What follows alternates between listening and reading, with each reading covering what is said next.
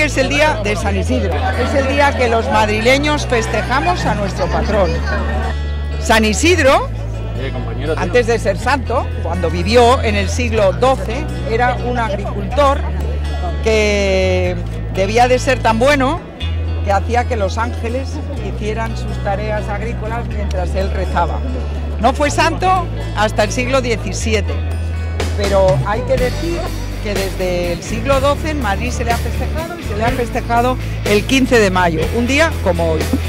Por lo tanto, yo lo que le quiero pedir al santo, a nuestro patrón, es que todos los madrileños estemos unidos, a pesar de que haya campaña electoral, que tenemos que debatir, porque lo que está claro es que es mucho más lo que nos une que lo que nos separa.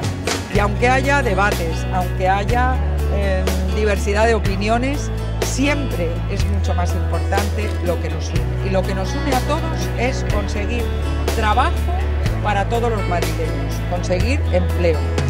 Unos lo haremos por un camino, pensamos que se hace por unas vías, otros por otras, pero la realidad es que todos queremos más empleo para los ciudadanos de Madrid.